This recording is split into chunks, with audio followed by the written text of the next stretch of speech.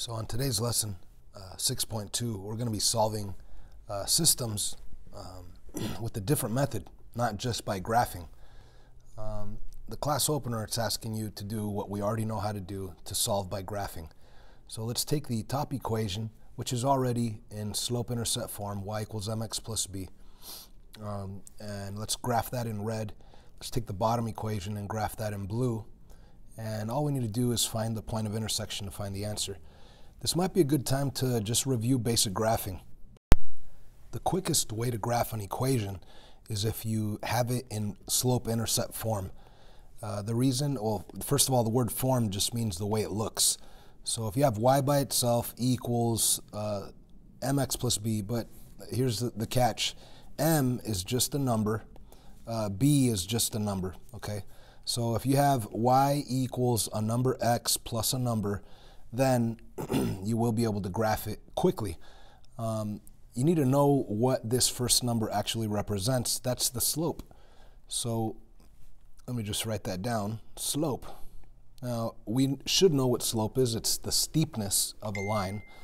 Um, and uh, we could also remember that slope is a fraction. So let me do a fraction. And in that fraction, the numerator is the rise, which means up.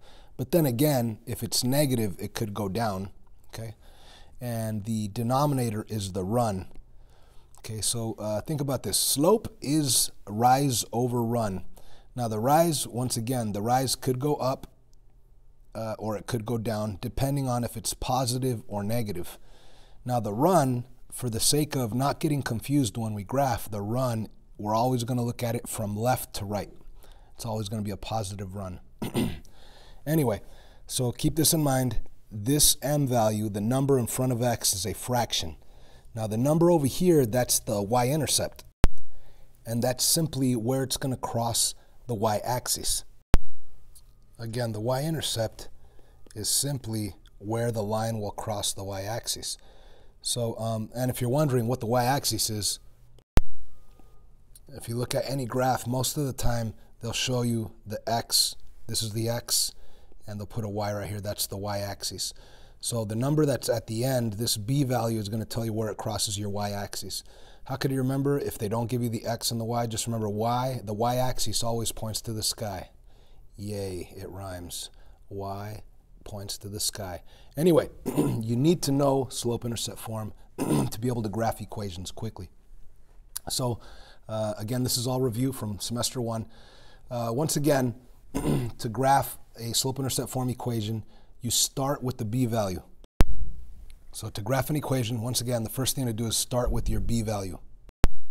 And you simply put a dot right on the y-axis where, where, you, where your b value is at. So in this first case, whoops, this first case over here, the top equation, uh, y equals a number x plus a number, right? y equals mx plus b. The b value is negative 3. Yes, you have to include the sign that's in front. So the b value is negative 3. That's what we're going to start with. You go to your y-axis, you go to negative 3. This is positive 3, this is positive 1. Negative 3 is down here. And this is the y-axis, so the b value is right here. You need to put a dot right there. So you put a dot right on the negative 3. and then, after you plot your point of your y-intercept, your next step is to rise and run according to your slope. And that's going to be the, the uh, number right in front of x. And keep in mind, uh, when you look at your number in front of m, if it's just a, a, number, you want it to be a fraction, rise over run. So like, let's say you had a 3 right here. Uh, you're going to have to put the 3 over 1. So let's actually just continue with the class opener on the red equation. Okay, so step one was to identify your b and start with your b. We said the b was negative 3 on the red equation. And then after that, we're going to go from that point, we're going to rise and run according to m. I guess it's important to say that from that point, you rise and run, okay? So I just wrote that in from your b. Okay, so let's take a look at the graph. so once again, the b value is negative 3. Put a dot right there. From that point, you have to look at your slope the number that's in front of x. The number is 2. Now remember, slope is rise over run. You want it to be a fraction. If it's not a fraction, you put it over 1 so it'll look like a fraction. So just uh, for the sake of showing everything, I want to say, I want to write it down over here. The slope is, on the red one, 2 over 1. Now, because it's positive, I'm going to go up. If it were negative, I would go down. So this is a positive 2, so I'm going to go up 2 units from this point. So I go up 2 and then over 1, and then I put a dot right there.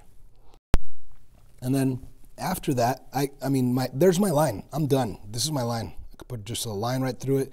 But as you can see, it's a pretty tiny line. So let's make it longer uh, by continuing the pattern of up 2 over 1.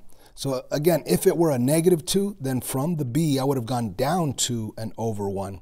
You always run to the right, never run to the left. Okay, so it's either up or down, depending on if it's positive or negative, and you're always going to run to the right. And that's what I tried to explain over here uh, when we wrote down these notes. Rise could be positive or negative, depending if it's positive. I mean, it could be up or down, depending if it's positive or negative. And the run, we're always going to go to the right. Okay? So anyhow, uh, let's continue with the pattern of up 2 over 1. So from this point, I go up 2 over 1 and put a dot right here. And of course, you could continue that pattern of up 2 over 1, up 2 over 1. And you could even use the pattern backwards, right? Instead of going up 2 over 1, if you want to extend it the other way, just go with the backwards pattern. Over 1 this way, down 1. Uh, down 2, I'm sorry. Over 1, down 2. And you could get the line uh, completely across the whole graph. So here's my red line. Now, what does that line represent? This line represents all the answers that exist to this top red equation. For example, if I pick any point on here, let's say I pick this point right here, just for fun, right? You don't have to do this, but just for fun. Let's pick that point, which is the coordinate 3, 3. Um, what this is saying, since this is a point on the red line, it is an answer to the red equation. Okay, so if I plugged in a 3 for x and a 3 for y, check it out. 2 times 3 is 6. 6 take away 3, it really does equal 3. Any point on this line will be an answer to that red equation. Once again, the line actually represents the infinite amount of answers that exist to an equation. Let me erase this. Anyhow, let's graph the blue equation. Uh, of course, I'm going to do this a lot faster because I've already taking too much time explaining how to graph something you should already know how to do. So the blue equation, y equals negative x minus 3, that crosses also, you start with b, once again the notes, start with b.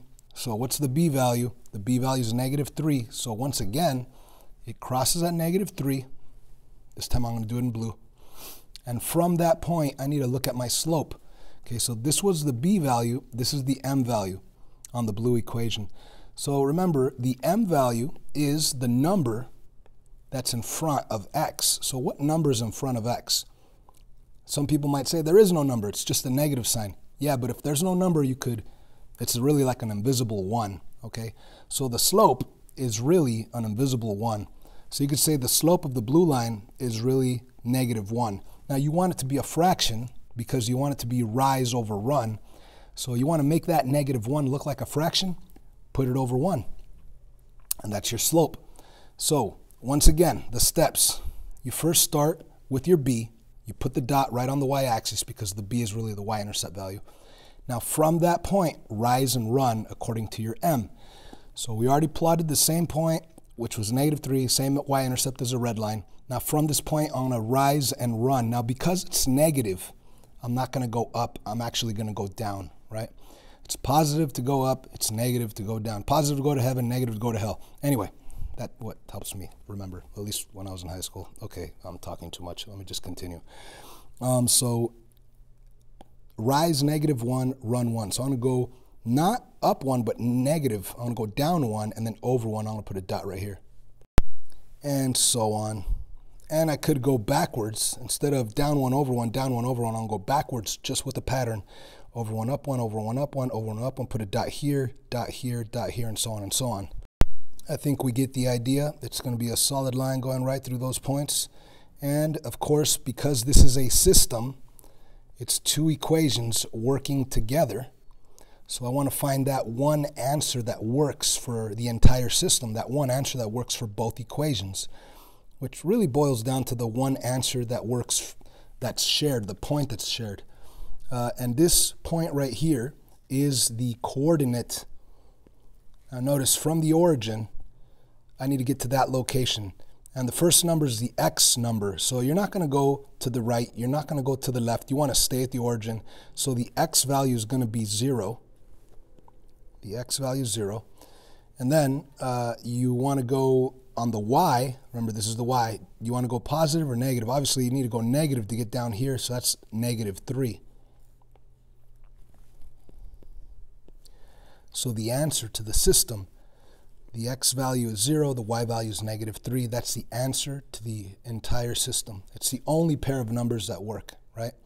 Plug in a 0 for x if you wanted to double check it. 2 times 0 is 0. Minus 3 is negative 3. Plug in a negative 3 for y, so it'd say negative 3 equals negative 3. You're absolutely positive that it works. Let's say you plugged in 0 and negative 3 on the bottom one. 0 for x, so negative 0 is still 0. And 0 minus 3, that's, that's negative 3.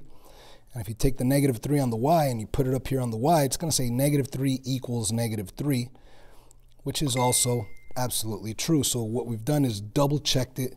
We are absolutely positive and happy because this is the correct answer to that system of equations, and we solved it by graphing. Um, are you going to get an answer all the time? Most of the time, you will get one answer. But then again, sometimes you might end up with parallel lines, parallel lines that like never cross. And then that's when you say no solution, uh, no soul. Or you could do the symbol no solution. Um, or sometimes you graph a line and then you graph the other line and it's the same exact line. They're perfectly on top of each other. Uh, then that would be infinitely many solutions. Uh, and then again, there's another section of this uh, 6.1 that I ask you to classify. And that's when you look at the word wall. Uh, and this would be inconsistent. This would be uh, consistent dependent. This would be uh, consistent independent because there's one answer. Anyhow, uh, it's a very long video on a class opener. But I hope this helps, especially all the new students or the old students that forgot how to graph using uh, y equals mx plus b, slope intercept form. Uh, I hope this helps, guys.